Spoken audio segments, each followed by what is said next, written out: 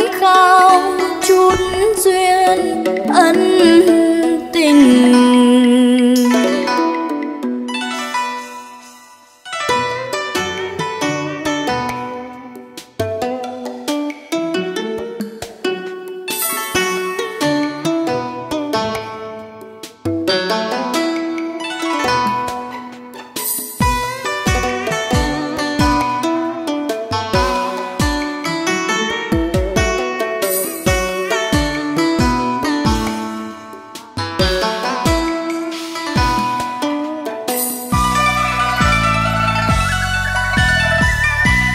Đời người, con gái lên kiệu hoa.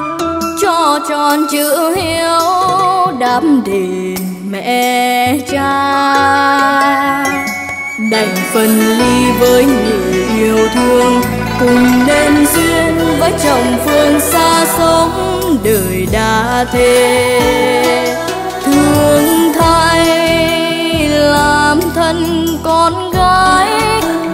ai sống chung một chồng. Tiếc cho phân gái má hồng làm thân thế thiếp cho người mình chẳng thương. Đêm nằm chăn gối vẫn vương, lệ hoen khóe mắt khát khao chút duyên ân tình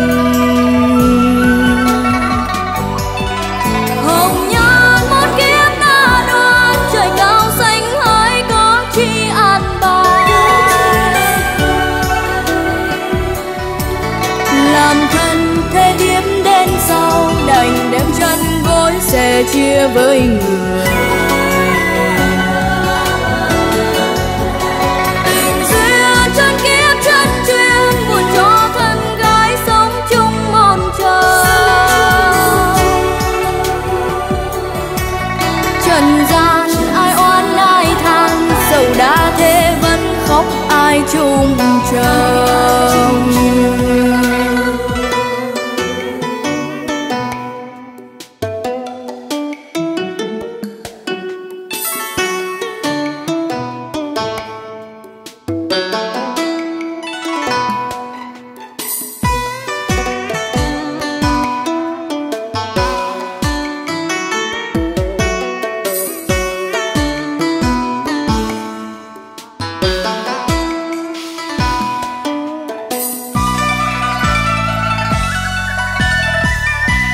đời người con gái lên kiệu hoa, cho tròn chữ hiếu đáp đền mẹ cha. Đành phân ly với người yêu thương, cùng nên duyên với chồng phương xa sống đời đã thề. Thương thay, làm thân con gái sống chung một chồng.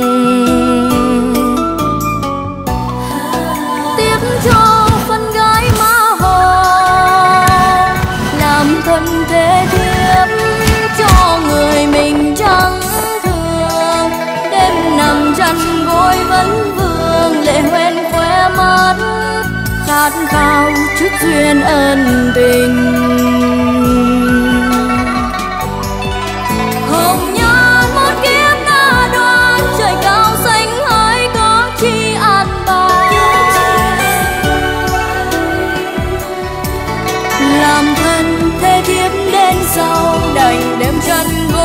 Sẻ chia với người.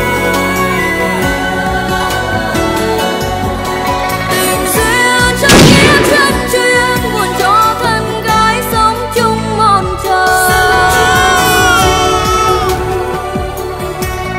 trần gian ai oan ai than dẫu đã thế vẫn khóc ai chung chồng